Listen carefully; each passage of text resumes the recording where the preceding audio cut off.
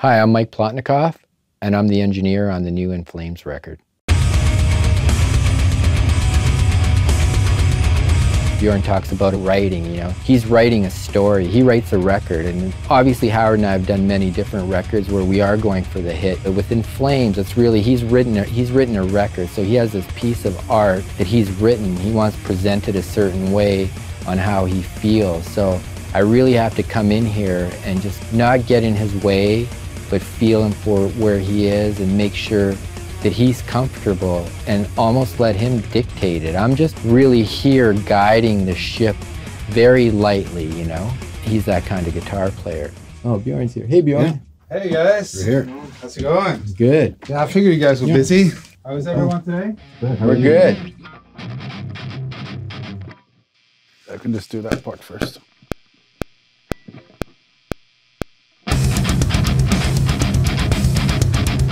The role that the guitars player in the metal mix is probably the most important thing for like the band the way they're EQ'd and gain we use them on them, the way they're spread in the mix, it's tricky because they take up so much space. So when you think about it, if you remove the guitars from the mix and just mute them, all of a sudden you hear all the space that's really in that mix between the snare drums and the kick drums and all the, the bass and all that. You put the guitars in and it literally takes up everything from like 500 hertz all the way up to about 10K. So the trick is how do I make it all work? We'll double up to there. I was thinking one guitar guitar in each doing two different things. Oh, okay. So I would do the same with the quad, triple quads. Mm-hmm.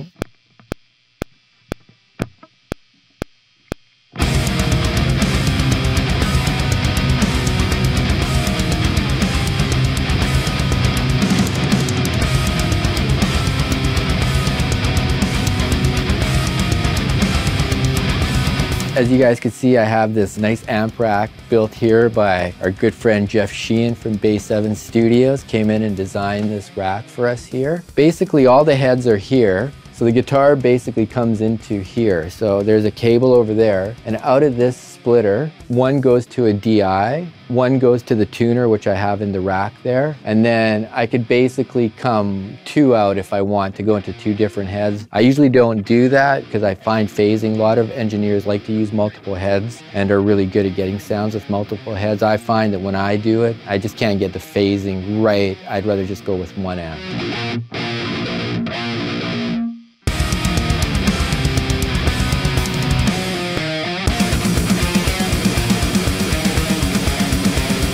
All the cabinets here have a speaker tie line going into there, which they're all numbered.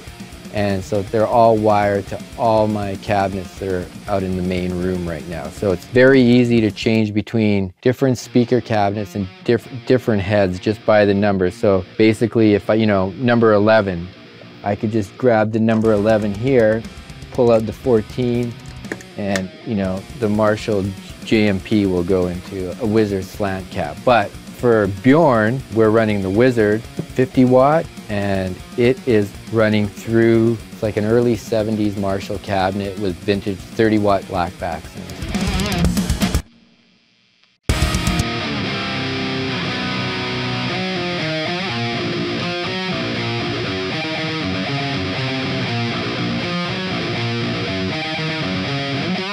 Hey there, I'm Bjorn from In Flames. I play guitar. Working with Howard and, and Mike, especially for me, is the best experience I've had so far recording. This is our 14th record, so I, have tried a lot of different ways and approaches to making a record, and, and this is the third record with this team. Um, that shows that we really like what we're hearing and, and, how the process goes. But I think you have to experience it and see the, the whole workflow and how quickly you get results back. Well, we just love it. It works really well for us. Let's just take it piece by piece.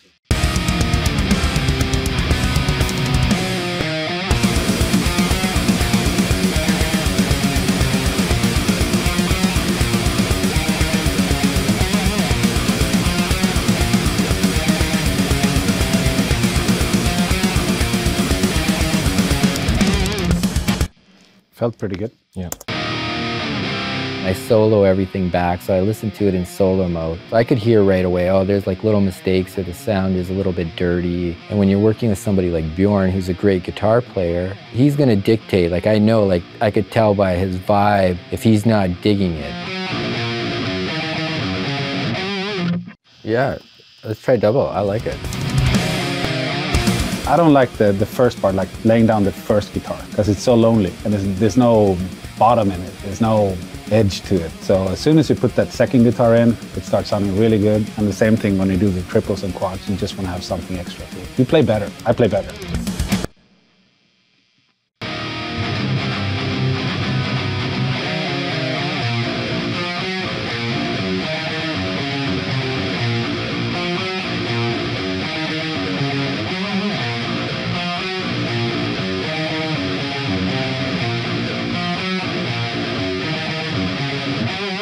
Haha. It's okay. Yeah, it's good.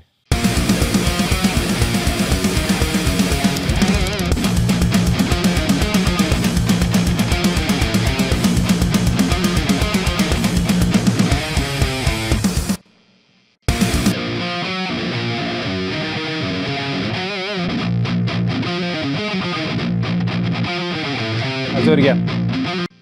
So little scratches in there.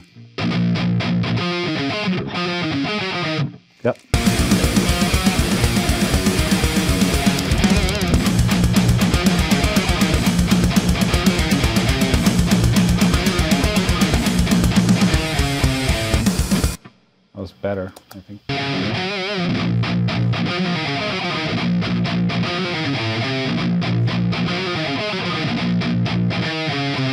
Close, close. One more. Practice it. I like to mic on this one the bottom speakers, and the reason for that is I find this cabinet has better low end when I'm miking the bottom speakers than when I'm miking the top speakers. On this cabinet, I'm pretty simple. I just use a 57, SM57 Shure microphone and a Sennheiser 421, which is, you know, pretty standard. I mic right on the center of the cone. For me, that's what I prefer. I pretty much keep it the same all the time, but basically I use a flashlight, line them up to point directly at the middle of the cone. Because the Wizard is very modern sounding, this, this Marshall cabinet, the vintageness kind of gives it a little bit more warmth. They're a really nice match pair.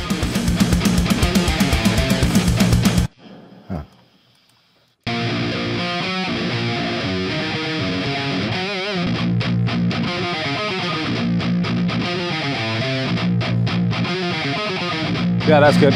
Now let's double that.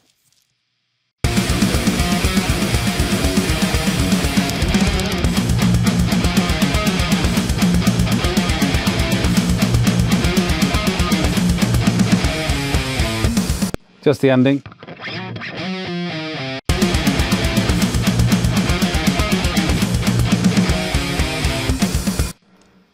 Yep.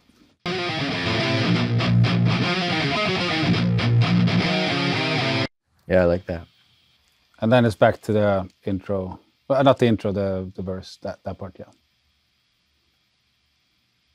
And the next is Of course.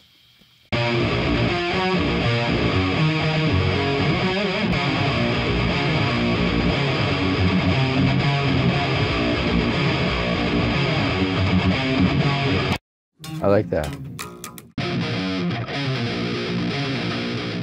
the cool thing with working with Mike, especially with Mike, because we're the guys that work together all the time, is that it's so efficient, it's so fast, and it just takes me like today was two and a half, three hours to do four guitars and bass, and that's crazy.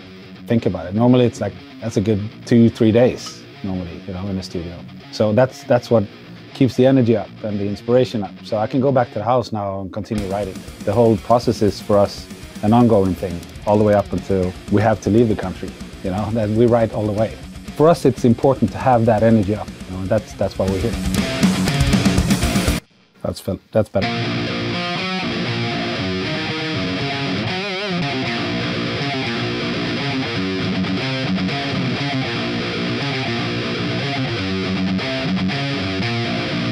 That's good. Yeah.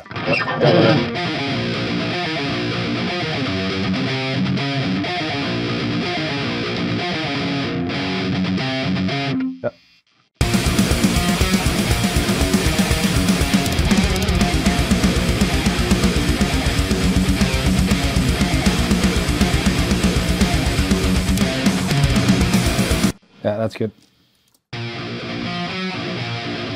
The first pass, and like Bjorn said, is always the loneliest pass to get the first guitar rhythm down. And once we get that down, then I'll double it with the same amp. And I just want the guitars to be tight. If the take is not in this window, I go that Paul can't edit that. It's just, it's gonna be too difficult. So I know the window I need to be in with the way the guitars need to sound together as a double. And then obviously as a triple and a quadruple. And then I know Paul's editing is gonna take it to where makes a modern sounding record of, of 2022. So I know what Paul's going to accept and I know what Paul's going to call me back and go, Mike, this isn't good enough. I can't fix this.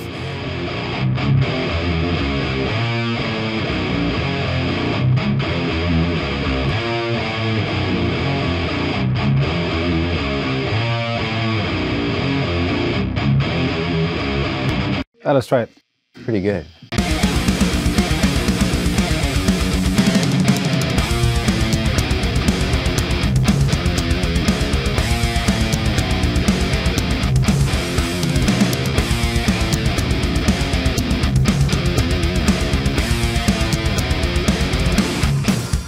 That's good. One more time. Almost.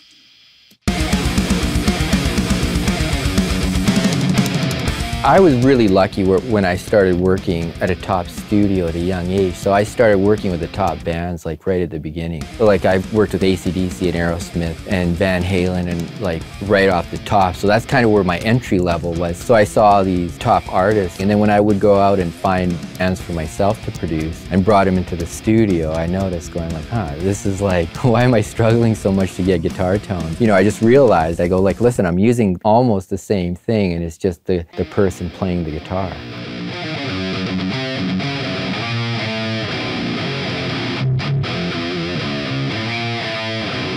Nah, let's do it again. I got I got to tune these thing better.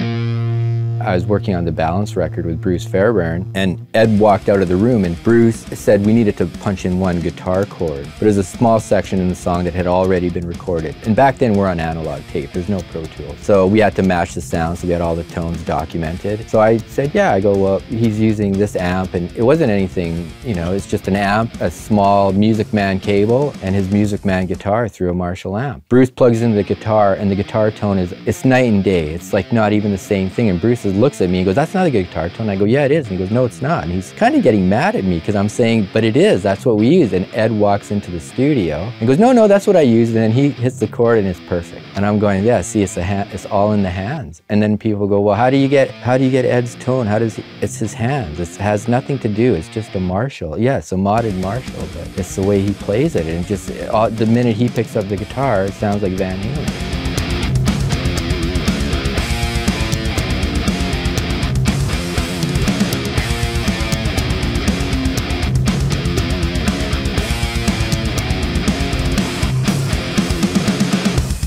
That one was good. That's good. Yeah.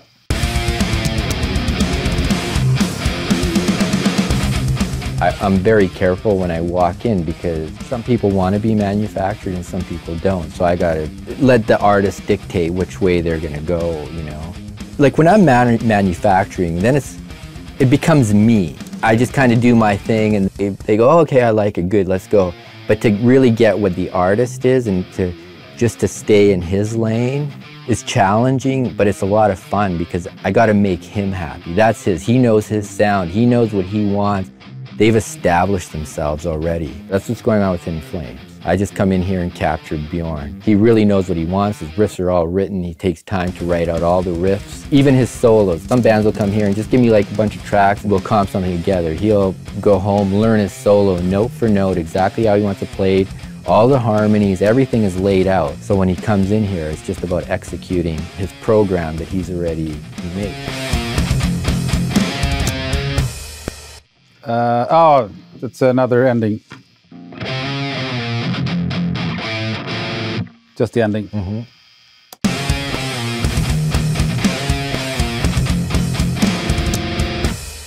Is it? Can I hear the last chord? Just an E, I think.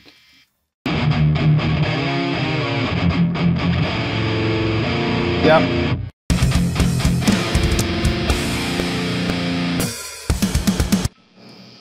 Okay. Double.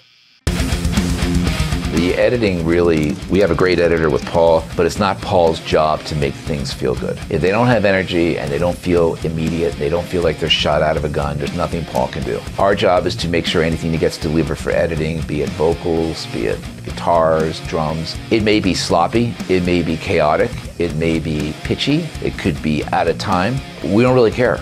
That can all be fixed. That's not the issue here. The issue is to make sure the feeling is there. We're not selling perfection. And Paul is great because he doesn't edit that much. Again, uh, it's just actually just the last, Last thing. uh, just a little bit more back. Yeah, there somewhere. I, I don't really say much. He just does his thing. I'm just here really to capture his performance and that's it and go home. It's really an easy job for me. There's other guitar players that come in here that they want to be guided. They want to be told what guitar tone to use, what guitar to use. Like they come in here excited. They don't want to know. They don't want to have their tone. They want to they want to go, "Oh, let's come in here and let's play with with all these amps that I have on the wall and what do you think? You know, what can we plug in and how should I play this and what do you think we should go here for a tone?" That's awesome. Sounds good. Yeah, really good. And now it's back to Verse. Okay, and then back to bridge A, and then it's the beginning again. Yeah, back to the intro. and then we just let it ring. Yeah. So, Uh, actually, you got to go a little bit further back. yeah, right here. because that was dee dee dee dee. I get it right there. We'll do the chugging part first.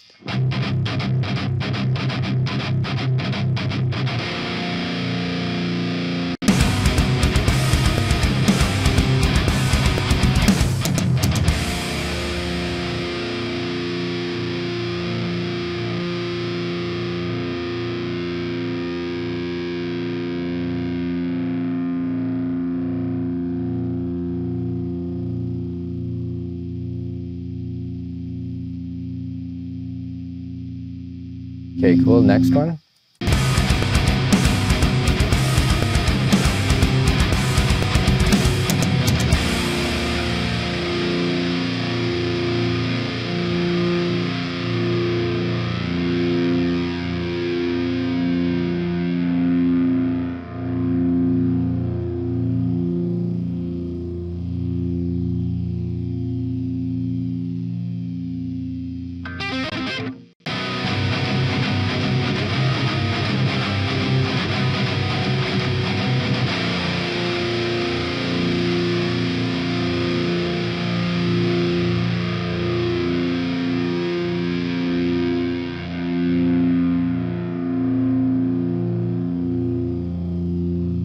How's the transition on the other one?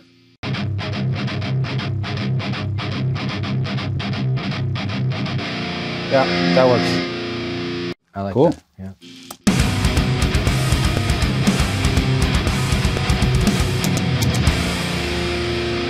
Yeah, that sounds good. Yeah, man. Like, really Sounds really good. good. Is it triple quads now? You want to listen to Yeah, triple quads. quads?